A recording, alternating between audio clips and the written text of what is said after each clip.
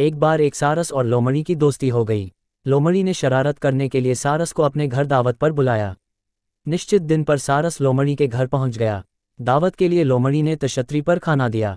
सारस अपनी लंबी चोंच के कारण मुँह मारता रहा, परंतु वह कुछ भी नहीं खा पाया। इसका बदला लेने के लिए सारस ने भी लोमड़ी को अपने घर दावत पर आमंत्रित किया। निर्धारित समय पर लोमड़ी सारस के घर पहुँच गई।